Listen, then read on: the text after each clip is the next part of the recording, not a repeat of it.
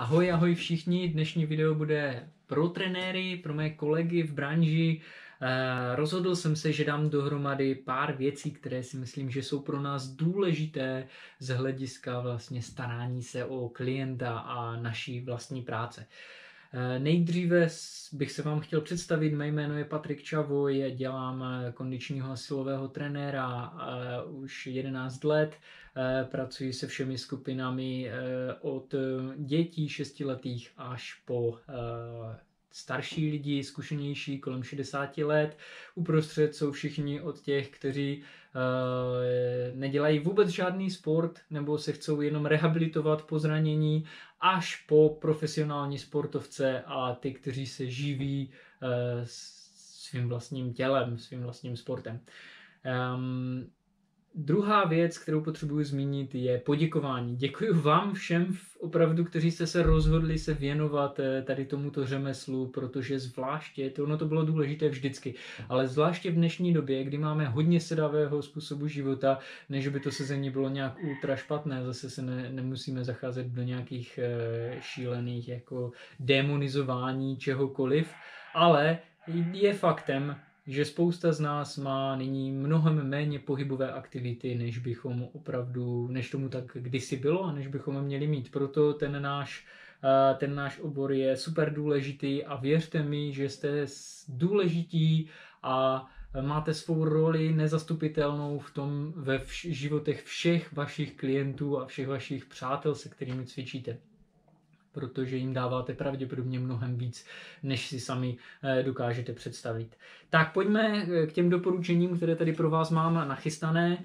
Eh, při první doporučení pro vás jako trenéry, a kterým se řídím, všemi těmi doporučeními se já řídím celou dobu. Jo? Některé jsem zdokonalil, jiné upravil, ale teďka znějí takto. Za prvé, přijmi svou plnou zodpovědnost za všechny, s kterými cvičíš. Jo, není to o tom, že k, tomu, k tobě někdo přijde a ty s ním posranduješ, haha, hihi a pošleš ho zpátky domů po nějakém šíleném workoutu. Ne, pokud chceš dlouhodobě pracovat se svými klienty, přijmi plnou zodpovědnost za to, v jaké jsou fyzické kondici, jak se vyvíjejí a jestli splňují své cíle, které si dali nebo ne. Pokud nesplňují a pokud eh, třeba před tebou i řeknou, že mají obavu z toho, že se jim nedaří splnit ten eh, daný jejich cíl, tak se jich zeptej, proč to tak je. Jestli dělají všechno, co jsi jim řekl, a proč si myslíš, že se to děje a zkusím doporučit nějakou další cestu. Buď ji přijmou a pravděpodobně k tomu cíli dojdete, anebo eh, ji z nějakého důvodu nepřijmou a tím pádem ty víš, že eh, že se tak rozhodli a že se rozhodli pokračovat vlastně v tom třeba umírněném stylu, dejme tomu stravování nebo cvičení a potom ale ty cíle se musí změnit eh, k tomu, co vlastně jsou ochotní dělat. To znamená, že jich dosáhnou třeba později, anebo jich bohužel nedosáhnou nikdy.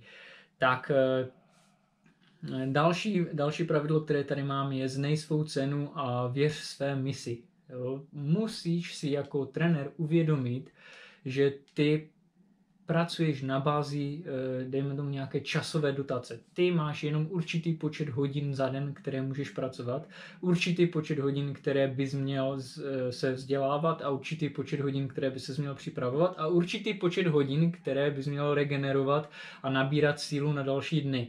A to všechno je třeba brát v potaz, když si tvoříš svou cenovou politiku. Jo, úplně není ideální, když e, finančně jako trenér strádáš, protože potom nejsi schopen schopen dát těm klientům to, co potřebují, protože máš neustále v hlavě to, že vlastně nemáš dostatečný eh, příjem. Co se týče vlastně, eh, co se týče eh, nastavení si svých vlastních cen, tak na to jsem kdysi dělal jednu celou takovou krátkou reportáž nebo, nebo video. Je to obsáhlejší, nebudu se do toho teďka pouštět. Další bod, třetí bod, Poznej eh, své klienty a vytvoř si z nich přátele.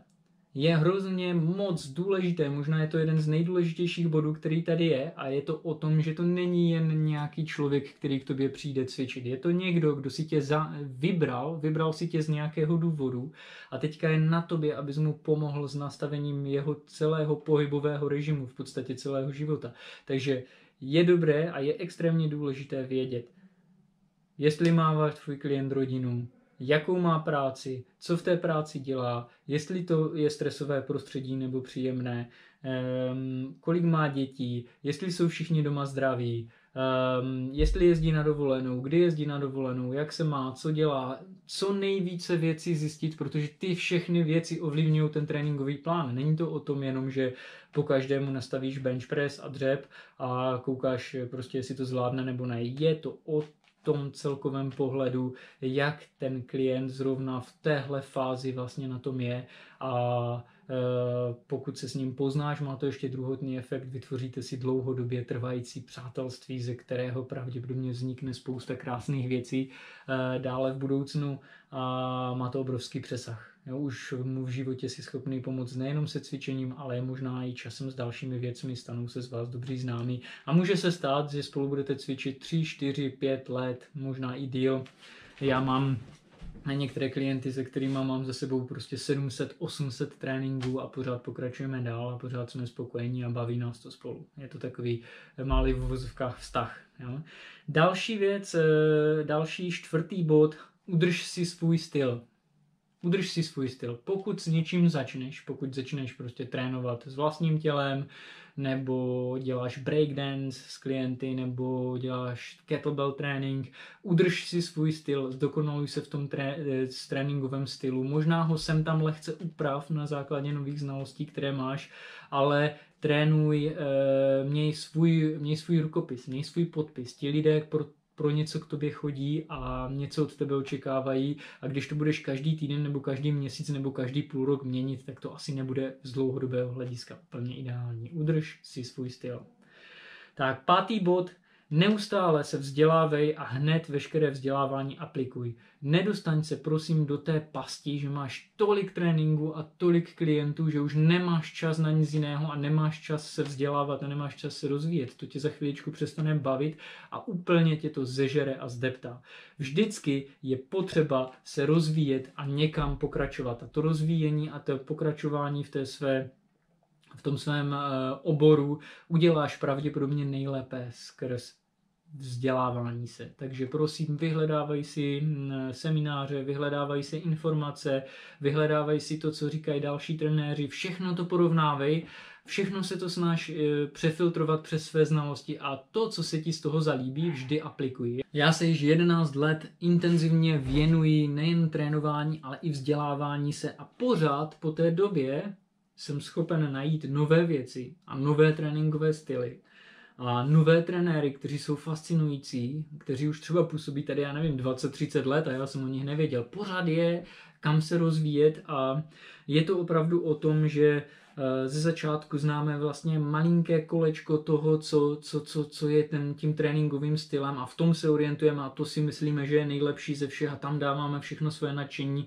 a tam v tom působíme. A najednou k tomu přidáš další kolečko a další a další a další a začne ti to růst a ty začínáš zjišťovat, že toho je obrovské, obrovské spektrum a v konečné fázi dojdeš do nějakého bodu, kde si uvědomíš, že není nic dobře a není nic špatně, že to, to vlastně neexistuje. Neexistuje jedna technika cviku, neexistuje jeden tréninkový přístup, neexistuje uh, univerzální pravda v našem oboru. Je to vše o tom, že čím víc zjistíš, čím víc máš informací, tím více se staneš vlastně svobodný v tom a staneš se hladový po nových informacích a hladový potom se dál v tom oboru rozvíjet, protože tady pořád je něco nového, co se můžeme učit. Některé věci musíš vyfiltrovat, to je jasný, jo? některé věci tě nezaujmou, některé věci ti budou připadat zvláštní, ale jiné věci zase zjistíš skvěle a je důležité, že z každého toho pole, z každého toho bodu, které, eh, které budeš studovat, třeba si vem vezmeš, eh, já nevím, tanec a začneš studovat tanec a řekneš si, OK, 95% toho, co tam je, se mi nehodí do mého stylu. Ale těch 5%, kteří se, které se věnují třeba načasování nebo dynamice pohybu, můžu použít u sebe. Jo? Takže o tom to je. Neustále se vzdělávej. Další bod, který pro tebe mám připravený, je bod číslo 6 a to je bod, který se věnuje komunikaci. Komunikuj se svými přáteli a se svými klienty a ptej se. Není to jenom o tom, že spolu strávíte hodinu času v posilovně a pak ty na ně zapomeneš a, a zase třeba za týden se sejdete a ty řekneš, že ty už si tady, no to je jako super, ale co tady děláš? Ne, ne, ne, ne. Eh, jde o to, pokud za někoho přijmeš plnou zodpovědnost, což byl bod číslo jedna, tak je pro tebe důležité, jak se ten tvůj kamarád nebo ten tvůj klient cítí mimo tréninky. Takže proč mu nenapsat na Messengeru, ahoj, jak se máš, jak jsi to zvládl ten trénink, eh, jak se cítíš, co dneska, co dneska máš v plánu, máš, děláš něco, nebo jak to, jak to s tebou vypadá, eh, jdeš na hory, nebo uh, jsi unavený, bolí tě nohy, co klouby, jo, slyšel jsem, že, že máš třeba v práci problém, jak, se to, jak, to, jak to zvládnul, je to všechno v pohodě, ono se to zdá jako zvláštní, my jsme trenéři, ale my nejsme jenom trenéři, my jsme někdo, s kým ti lidé, pokud se rozhodnou trávit třeba dvakrát, třikrát týdně hodinu času, tak s kým vytváří intenzivní vztah. A my nejsme tady jenom od toho, abychom je naučili dřep a klik, ale my jsme tady od toho, abychom celkově zlepšili jejich život. A to je naše, nebo měla by být naše mise a na tom potom stojí ten úspěch toho, že ti lidé se k tebou budou vracet za tebou roky a roky. Bod číslo 7. Eh, pokud máš nějaké obavy a strachy, anebo spadneš zrovna do deprese, prostě budeš si říkat, mě to nebaví, už se mi to nechce dělat, eh, nevím, co s tím, věř jedné věci. Je to naprosto normální, každý to má, nezáleží na tom, jestli jsi trenér nebo automechanik nebo velký manažer, každý z nás má vysoké stavy a nízké stavy. Důležité je vědět, co s tím dělat. Pokud si zrovna myslíš, že to, eh, že to, co děláš, nemá žádný smysl a už si třeba na hraně toho, že, chceš, eh, že to chceš změnit, udělej jednu věc. Spoj se s nějakým kamarádem, který dělá to tež, co ty, s dalším trenérem a řekni mu o tom, řekni mu o tom, dívej, mě to teďka nebaví, nevím, co s tím mám dělat. A možná se stane to, že ten tvůj kamarád je úplně někde jinde, že ty jsi dole a on je zrovna nahoře a on ti může poradit a řekni, řeknout ti prostě neblbni, dívej se, kolik lidí prostě na tobě záleží, co ty všechno pro ně děláš, eh, jak moc jak moc si pro ty lidi důležitý, jak moc si vlastně důležitý pro svět, jo, se, se svým posláním a pro všechny okolo. Eh, co vše vytváříš ve své komunitě a může tě přehodit úplně eh, na jinou notu. Pokud nenajdeš nikoho takového, eh, klidně se ozvěje mě a já se budu snažit z plných svých sil ti třeba poradit a, a nasměrovat tě zpátky na svou cestu. No a konečně poslední bod, který tam mám, je jeden, kterým se řídím taky už dlouhou dobu a ten bod zní tak, že konkurence, prosím tě, neexistuje.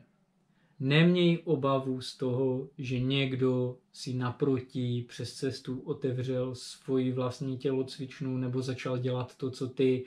Eh, není to o tom. My jako trenéři máme všichni společné poslání tady na tom světě a to je zlepšit eh, nejenom fyzickou, ale i psychickou mm, pohodu nebo kondici Eh, lidí, kteří k nám chodí cvičit. A ti lidé si tě nevybírají, protože máš pěkné webové stránky nebo že jsi super eh, svalouš nebo máš krásný Instagram, ale vyberou si tě, protože nějakým způsobem s tebou souzní a nějaký, nějak si je oslovil v tom, jak se chováš, jak vystupuješ, jaké máš tréninky, jestli jim dáváš jako do života prostě tu, tu přidanou hodnotu a tu radost. Takže se vůbec neboj někoho, kdo otevřel, uh, kdo otevřel si svoji tělocvičnu za rohem nebo přes cestu, protože ten pravděpodobně bude mít úplně uh, jinou energii a jinou klientelu a jiné. A další věc tady u tohoto, pokud vznikne více konkurence, nezoufej si. Je to jenom o tom, že tě to bude, řekni si, je to super, je to dobrý, prostě je to něco, co mě může vést kupředu.